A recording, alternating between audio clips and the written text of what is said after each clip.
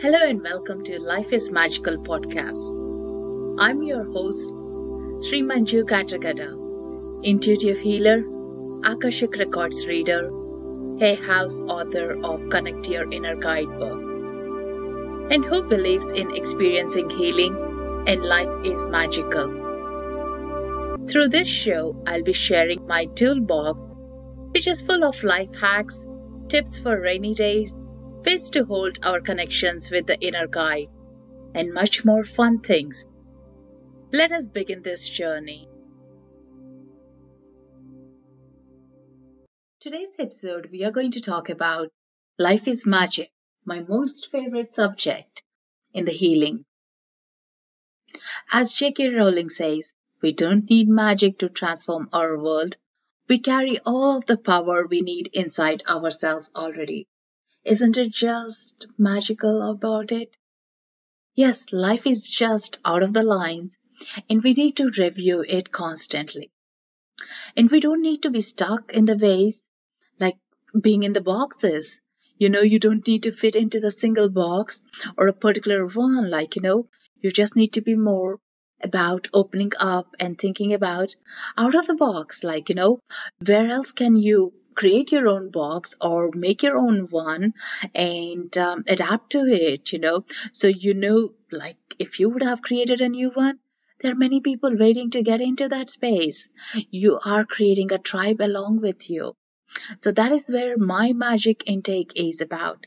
When you believe in the magic, there is miracles that come in and flow like you know it just makes it so easy to have the hope to have the unexpected to happen like uh, rather than saying this is it. You have more creative like what else could there be? Like you know the curiosity in your own self like or opportunities that you're going to get in. So that is where the life is magic comes about uh, and it is as simple as that. But it is also that surprise, you know, that we need to be waiting and looking up to every corner of the place, looking for engaging for the opportunities as well. We just can't sit around and say, hey, life is magic, things will fall in place. But no, we need to make the move, have your passion, and create what you absolutely love about. So think about like if you're stuck in a particular job or um, any point of your life and you don't see anything happening, think about rather than focusing on that particular aspect, what else are you engaging your life with? What are your hobbies? How do you recharge yourself? What is the portal to let go for you?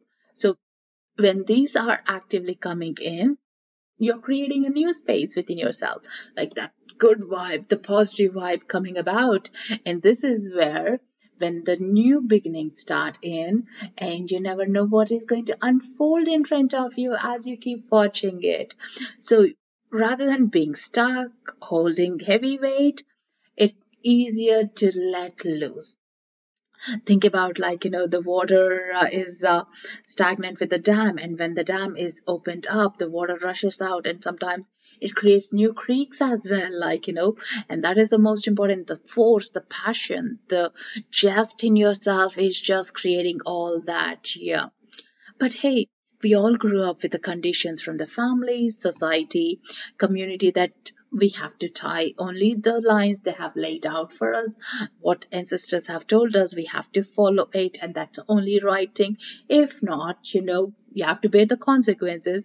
But hey, they never would have thought about like how about we encourage them and let them create a new world so we can be there to protect them.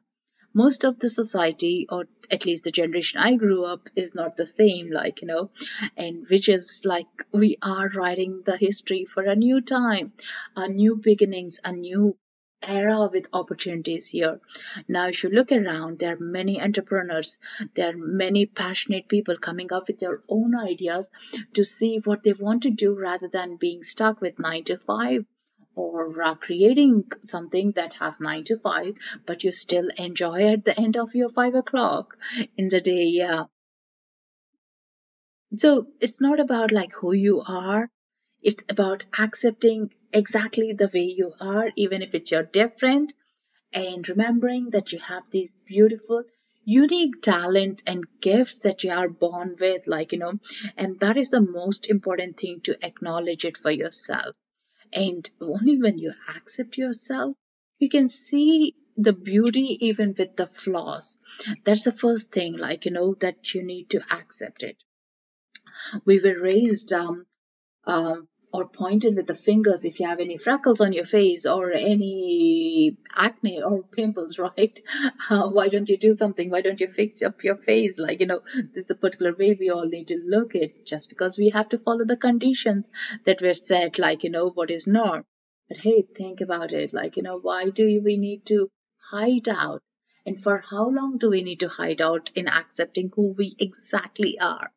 So just allow yourself to hold that thought who are you doing this for? Whom are you pleasing this for? Like you know um, society are they going to be there for you when you are going to be successful? They're going to be praising you that's it the story is forgotten like you know and when you are at a low moment where they're there for you maybe a little bit and that's it they would have forgotten and moved on. It's just like page three paparazzi whoever is in the limelight that is the news that gets on to like you know the same with the community the news, of course, like, yeah, think again, like, this is you, this is your life, and what is your intake about it? What do you want to achieve? Maybe nobody has said that to you before, or you may not have heard or able to make a decision before. Now, when this opportunity comes, this is a bit awkward because you're trying to do something you haven't done. So, definitely, there is a fear associated. For me, fear is taking as a friend, moving it forward, Fear comes only when we are resisting to some things that really deep down you want to do it, right? And if someone says, come on, let's do it at that moment of time, you love that support and you just do it, even though that fear is there. You just love the support you were getting in, right? And think about it. You're going to live your life with content. And that is the magical about this life, this journey, and experiences that you're going to create all along in your own terms. Like, you don't need to regret about it, or you don't need to think, wish I did something different.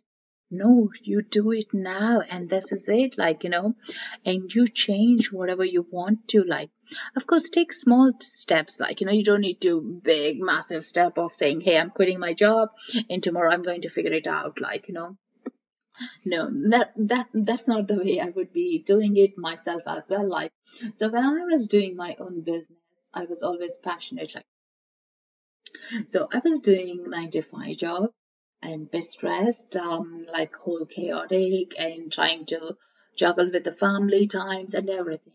And then I started doing what I was passionate about, my business after my work hours. And I I did that for over like eight years. And I realized like I'm not tired in the place where I was passionate. And I could change around my 9 to 5 as well, being less stressed about it because I know I'm going to be happier later on in the evening or on the weekend, what I absolutely love about it. So that was my way of doing it. And then one day I said, I have done enough of this multitasking, being at two places. Let me just go deep dive because by then I have built up my client base. I have uh, looked into what exactly I'm enjoying it, what is the most fruitful for my heart. And I said, like, okay, now is the time. And that is where I did uh, quit my corporate career and get on to my business career. And this is, yeah, taking that slow steps helped me to hold on to what I was able to do without having that um, scarcity or the fear or the past telling us like you shouldn't be doing this. This is too risky. Or what are you up to? When you have a family you need to feed the family. No this is when you build that way you are confident. You are answering to yourself and the external voice doesn't really matter at that moment of time. So it is about you listening to your inner calling.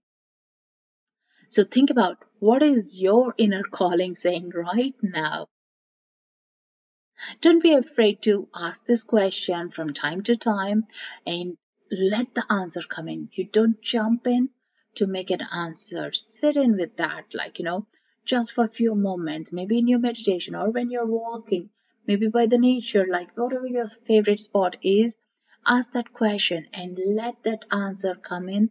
When the answer comes in, it's very subtle, where it's not your ego speaking, but your heart saying it out loud to you. And you will be hearing that from multiple directions like you know not only your heart saying but once you open that portal up you'll be hearing from your friend or from a newsletter or from an article or someone else will mention about the same thing. So this is it. Like you will be hearing those words magically everywhere. Like again that's the law of attraction that is a law of attraction to get what you want as well and start speaking out loud be more practical. The more you speak about your dreams, the more uh, nearby you get in, or the more uh, closer you get to your own dreams as well, getting them fulfilled because you're holding that accountability for yourself about sharing. And you know, as you talk about it out, your confidence changes as well, like you know, and there is it, no turning back. It, the game is only forward and deep inwards to yourself. And yet, times you might feel a bit wobbly. The path could be narrow. Um, the, there could be a heavy baggage you're carrying in. So you might feel like, oh, is this the right thing again? Like, you know, you might be doubting yourself. But hey, take a deep breath and think about it. Why did you even start at the starting, very start of it? And what is uh, driving it you further? So when I think about it, I have my beautiful client testimonials to hold on to and say, like, this is exactly why I wanted to do the work I'm doing. Like, you know, when I see someone leaving my therapy place or after reading, say, hey, this changed my life or this gave me a peace to me.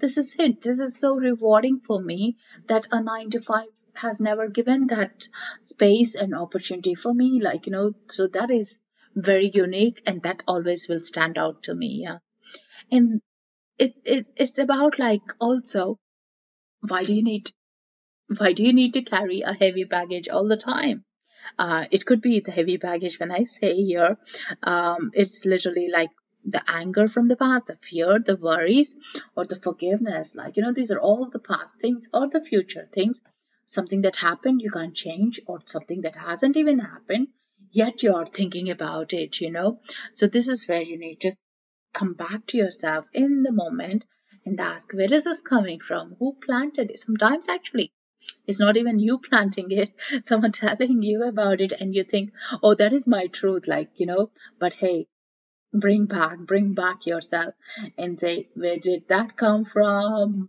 And that will tell you a lot more like you know that's not your words at all like you know you might have overheard or you might have imagined or somebody would have said because that's their fear not your fear.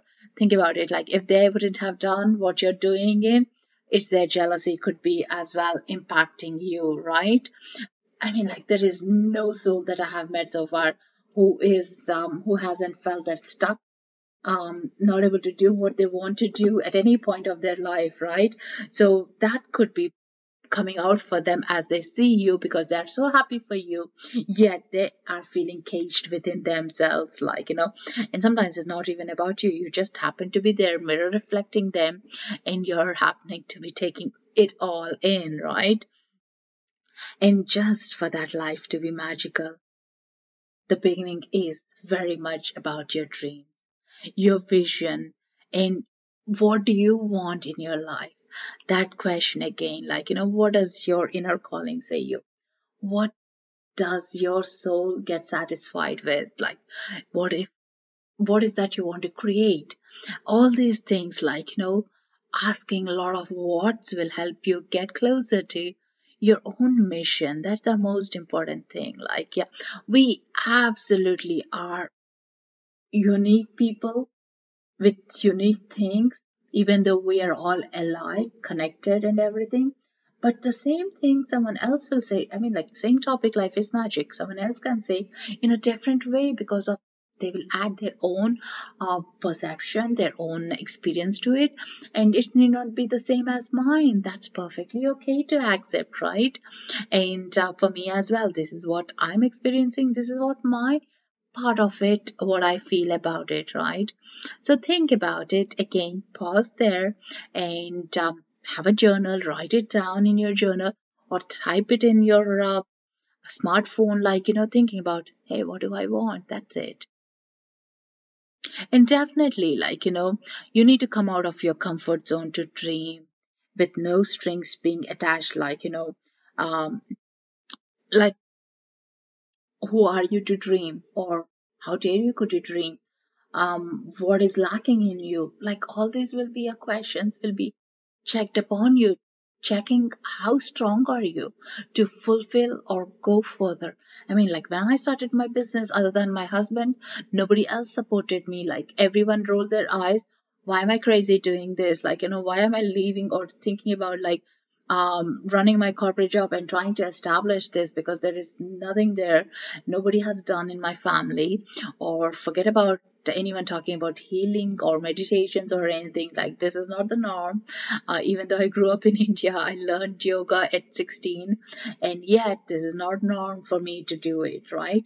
But consistently turning up to practices that i believed in because i've seen the changes for past like 11 12 years i have been doing this work and now people do see the change in me do see the effect of it or do hear like how is it impacting them as well because they are in that light uh, that we are all sharing and this is it they're turning around.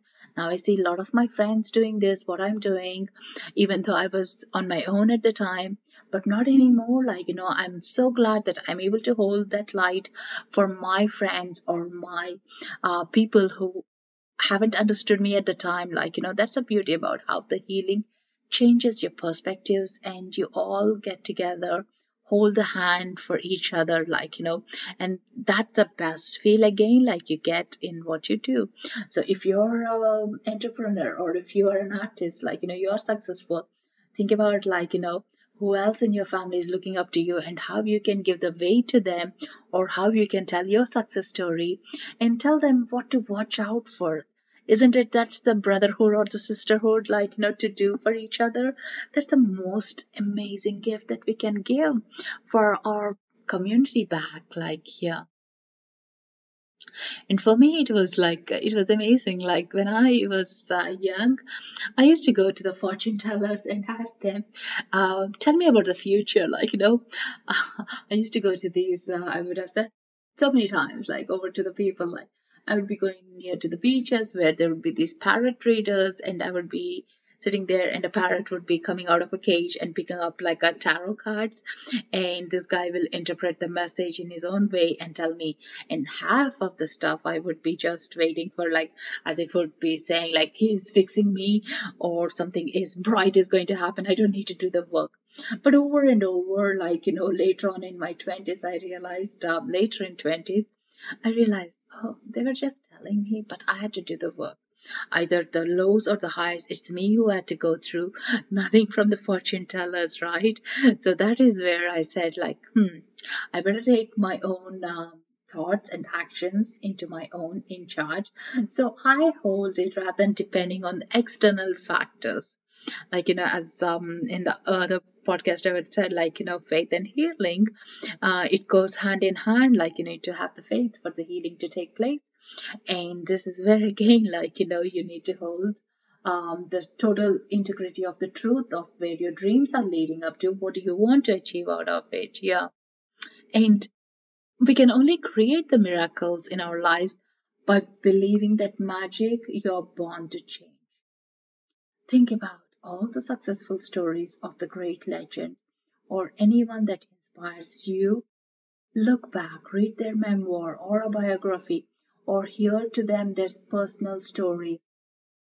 What made them to be successful? Who are they and where was their journey coming along? Like, you know, what was that thing they are talking about that makes them stand out? When I looked into it, Everyone's talking well from their heart. Everyone was passionate about what they were doing, and that made them to be unique and especially special. And I was looking up to them because I wanted to do that, speak my own truth without uh, being hurt or without hurting anyone, able to be there where they were. And that is something that I was looking up to you just need to keep practicing on and on doing it it's just not Again, think about like, yeah, it has been so many years you created to who you are now. If you are going to make some changes, it does take a little bit of consistency and a little bit of a work to do that as well. And that's the only thing, like, just like any magician as well, needs to keep practicing at their skills we need to practice as well and then it just gets easier and easier. It doesn't matter if you're performing on your own or in a crowd um, because it, it's about you turning up to the show and doing what you're meant to be doing. And definitely my advice would be to start slow take baby steps and go further. And that's where you're in control of what's going to come around and hold that space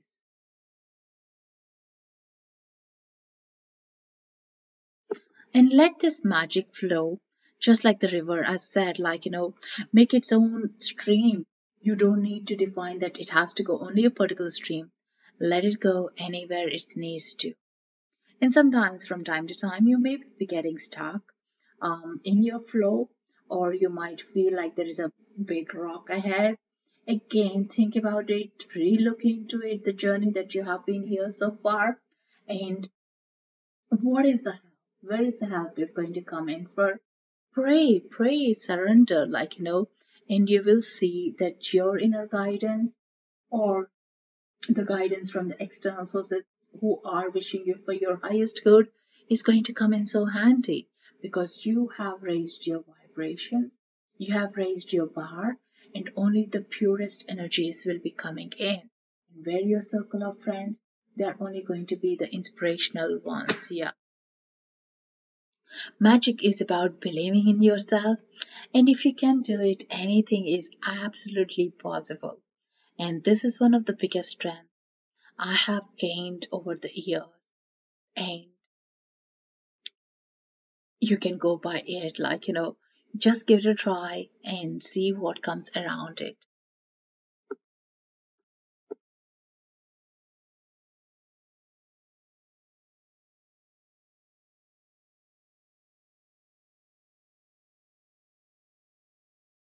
And also be open to wondering what the solution is rather than the just thinking about the issues difficulties we do say if there is a problem i need to send an email to a bunch of editors uh, for my blog article it could be.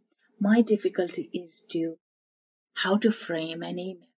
Very basic but that is where my struggles are. I have no problem in writing a blog but when I'm going to reach out, how do I frame it? What do I write to them? So I delay, delay, and not do that activity until some fine day someone says and pushes, hey, why don't you publish it? It's really good, like you know, and then I'll be looking. And absolutely, I feel stuck because I'm only focusing on, I just can't do these emails. That's it. I don't know how to frame those emails. But if I stop thinking that way and think about whom can I reach out? Who can help me? Has someone done it? Is there a template available? Is there a Fiverr, like, you know, where I can go and ask someone to do for me? This is where you open it up and you bring those beautiful changes and the possibilities to come into your life. And that is where you'll start creating. And creating here in this sense is I'm open for receiving help. I'm going to get the help and this help is going to make the emails part so easy that I can just focus on my work and someone is going to take care of to reach out to the publishers or to uh, editors and that's that's it like you know delegating and leaving what you're not in control of and what you're not comfortable with. Like let's say it's not that everyone needs to know everything. Everyone needs to be at comfort with absolutely everything in the world. No running your own business. Some aspects i dislike some aspects i absolutely love to.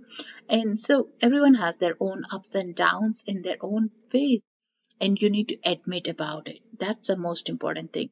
But sometimes we just run away not knowing what it is not re-looking into where our dislikes are and trying to focus only on the problem again.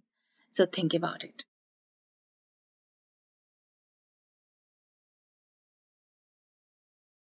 And here, there is another thought that's pondering right now.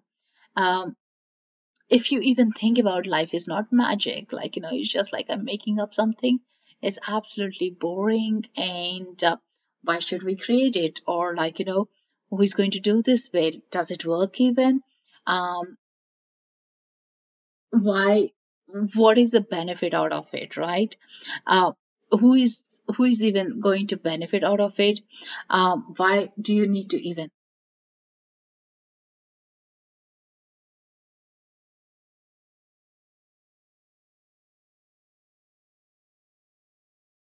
All right, okay. Um, for a minute, think life is not magic and it's boring. Ask yourself why it should be like that. Who creates it that way? Do we create a boring artwork? Or do we intentionally make a bad dinner? Or do we give birth to a boring child? Uh, just ask yourself who is creating issues in life? And who is stopping the prosperity coming in life? And who is doubting the key potential success? Or who is avoiding the joy in life? We are the ones who are creating the havoc in life. And it is okay to do at some point of our lives by knowing or unknowingly. But for how long? You can always change this and twist around only with your permission. Remember, you gotta give the permission for better side of you. And the best experience is waking up and setting your tone for the day. What kind of a day would you like to experience today? Um, for me, I used to even like think about like I was a snoozer, so if I was snoozing in, in the meantime, I started doing like for that five minutes of a snooze, setting like, hey, today I want a beautiful day. Today I want a magical day or today just to be the perfect day for my soul.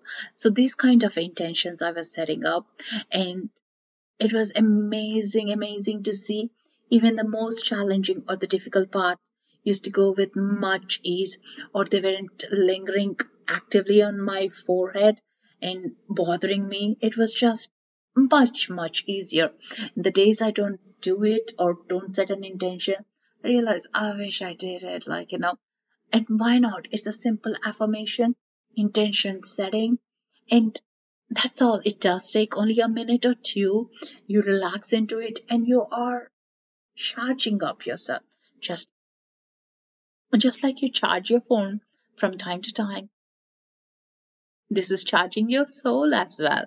And you can write down in your journal on your phone, make a note and see how it is like in the end, like, you know, end of the day, how are you feeling about it? Yeah. Give it a try. Give it a try completely, like, yeah, for next couple of days and see how you feel about it.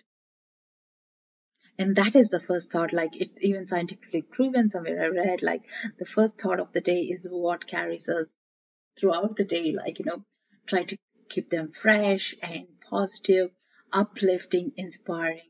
And I would always go by like you know reading what's in front of me.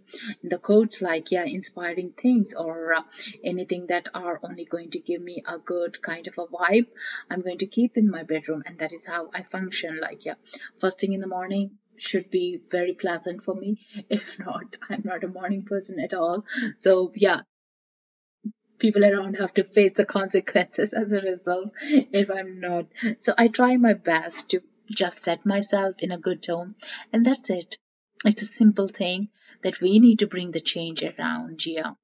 And also, we get to meet lovely people around, um, hold their spaces as well, have lovely moments created as well. And this is this is absolutely the basic principle of creating your own magic in your life. You don't need to depend on anything. You just begin with yourself. Again, think about it. Set your intention first thing in the morning and set your intentions, uh, run by it, create your own visions, your dreams, and just, just let a hope come in and take care of it and allow yourself at the end of this listening in to write down your own thoughts about like what is that? What is that you're holding off to? What is that you're afraid of? Or what are your dreams even? Like you know if money, time is nothing an issue there, or your age is not an issue, what is that you want to create? What is that you want to reach out to you? So always aim high, dream, dream bigger, like, you know, at least then you get to the nearest ones there. So don't be afraid to dream and put yourself out there expressing more as well. So good luck with that, and uh, thank you guys for listening in. Um, yeah, do write to me and let me know how you feel about it. Thank you all for listening in and tuning in to the podcast Life is Magical. I hope you found some good nuggets to move through this week. Want to ask a question? Please email me or stay connected if something resonated or found useful and helpful from this podcast. I'd love to hear back from you. My email is info at srimanju.com. That is S R I M A N J U, which is in the show notes below. Until next week, namaste and good day. Happy magic. Love to you all. Thank you for listening in.